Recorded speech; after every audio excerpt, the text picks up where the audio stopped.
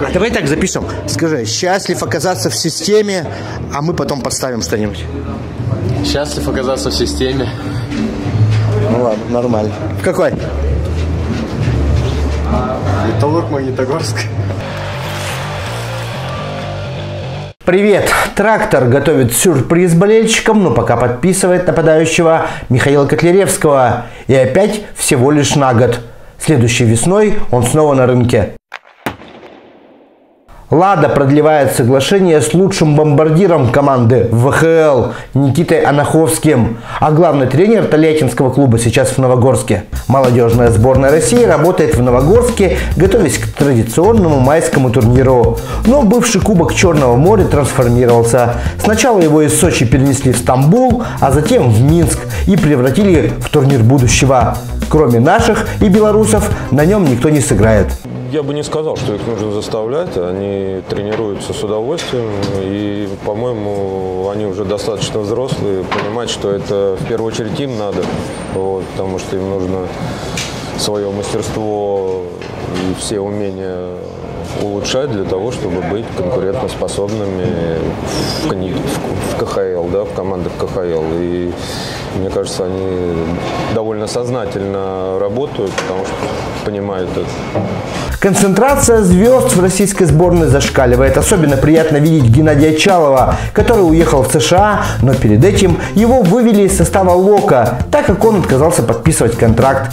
Талантливого защитника это не обозлило. Я понимаю, потому что уходит как бы относительно сильный игрок, и как бы им хочется всегда золота, медалей. Это, ну, я все прекрасно понимаю как бы только лишь по отношению ко мне, может, это было некрасиво максимум, и все. А так, руководство, ребята, вот самое главное, ребята там хорошие. Ты приехал в сборную.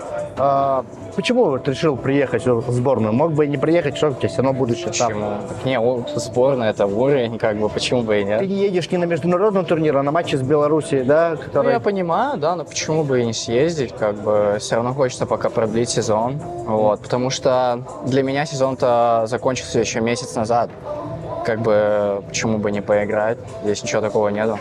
То есть этот отъезд не, не рушит твои э, отношения с Россией, ты спокойно да Нет, конечно, нет. На льду Новогорска была двусторонка, причем посмотреть ее полностью не получилось. Дело в том, что на арене так холодно, что простоять там даже в куртке больше 10 минут совсем не получается.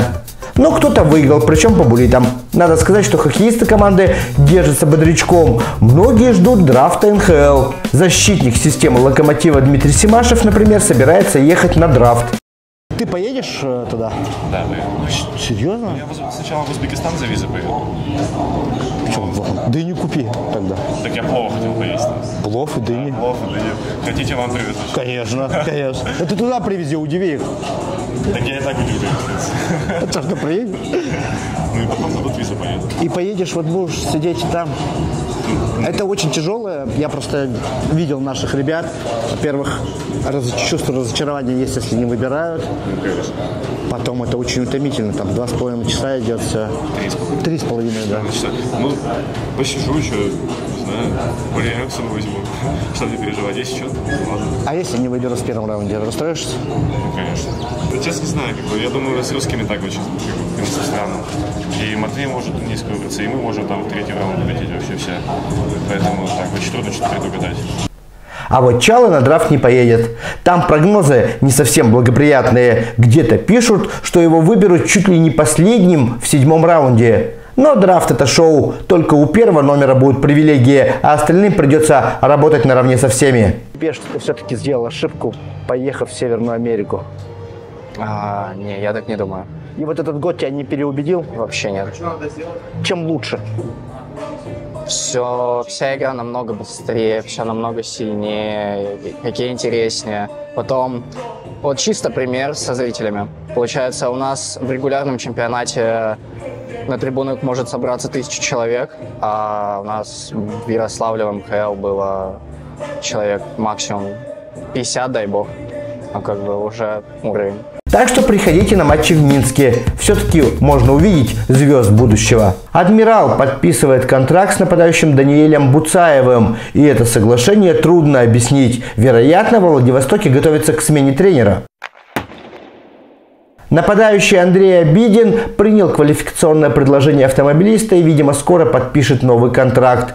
Кирилл Петров же договорился с Акбарсом. У форварда казанского клуба 30 апреля завершился контракт, и им серьезно интересовались в Минском «Динамо» и «Ладе», но вмешались семейные обстоятельства. Дети Петрова пошли в школу, переезжать из Казани было проблематично, и приоритетом для хоккеиста были переговоры с родной командой.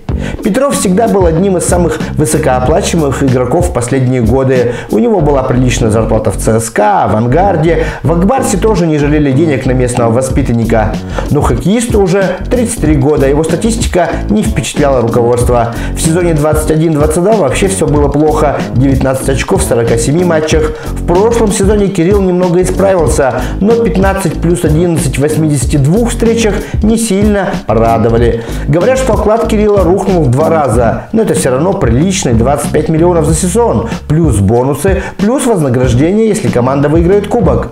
Наверное, не стоит расстраиваться, тем более известно, что в Казани не стали бы удерживать игрока в случае, если бы начались торги. Но отлично, что нападающий остается. Ему хорошо знаком стиль клуба, он знает требования тренерского штаба. Если Кирилл не будет думать, что упал в деньгах, то еще принесет пользу. Высшей хоккейной лиге Тульский АКМ подписывает нападающего Илью Шипова, который только-только выиграл Кубок Петрова в составе Хибика. За плечами Ильи выступление в КХЛ за Динамо, Югру и Спартак. И последнее. Этой ночью вратарь Флориды Сергей Бобровский сыграл на ноль в полуфинале Кубка Стэнли против Каролины. И там счет серии 3-0 в пользу Пантер. Вот тебе и интрига. До свидания.